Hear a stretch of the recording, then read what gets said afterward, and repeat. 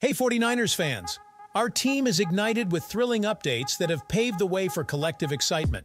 Some fans express reservations, finding it challenging to absorb the unfolding narrative. Hit subscribe to cast your vote of support for the 49ers and join us in unraveling the nuanced layers of this groundbreaking news. After seeing the Lombardi Trophy elude them and end up with the Kansas City Chiefs for the second time in five years, the San Francisco 49ers should be wholly dedicated to completing the task in the 2024-25 season. However, this is easier said than done when they are grappling with a massive contract dilemma. Brandon Aiyuk is absent from organized team activities, OTAs, as he aims to become the latest star wide receiver to secure a substantial contract extension. This conflict has been simmering since shortly after Super Bowl 58 concluded and is now reaching critical levels. As more time passes without a resolution, San Francisco's championship prospects are at risk of fading. Understandably, this situation has been almost unbearable for 49ers fans. However, they might find some relief in gaining clarity on the matter with Aiyuk's reported contract demands coming to light.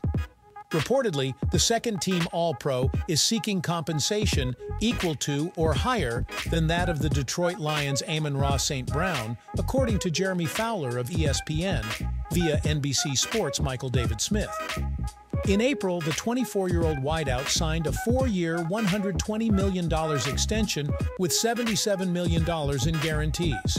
His average salary over the first three years of the deal is set at $28 million. The 49ers will likely balk at this figure. Paying such a substantial amount to Brandon Aiyuk would probably necessitate trading another high-caliber player. Deebo Samuel, who has been the subject of trade rumors for some time, could potentially be moved to make room for an Aiyuk extension. It is evident, though, that General Manager John Lynch and the San Francisco decision-makers have not yet resolved whether they are prepared to make such a significant commitment to the dissatisfied receiver. At first glance, many football fans might dismiss the supposed demand. St. Brown has recorded 225 receptions for 2,676 yards over the last two regular seasons, while Aiyuk has 2,357 receiving yards during the same period. He has never exceeded 78 receptions in his four-year career. However, the two players operate in vastly different offensive environments.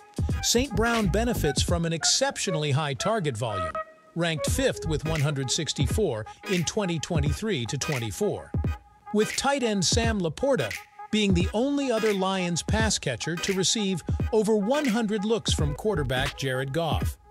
Aiyuk barely surpassed 100 targets, competing with George Kittle, Deebo Samuel, and Christian McCaffrey, all had 80-plus targets.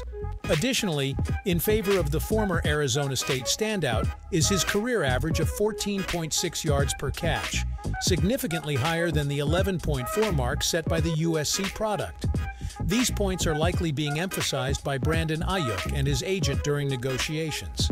Nonetheless, the hesitation from the 49ers side is likely reinforced by Aiyuk's overall underwhelming performance in the recent playoffs. While Aiyuk's spectacular catch against the Lions in the NFC Championship sparked a dramatic comeback victory and should be duly recognized, his overall postseason performance did not meet the standards of a premium wide receiver.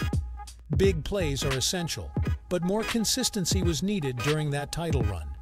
At 26, the Rocklin, California native is undeniably a valuable player capable of elevating teams to significant heights. However, questions remain about his ability to be the top guy on a Super Bowl winning team. As contract negotiations continue, fans will gain insight into where the 49ers ultimately stand on this issue.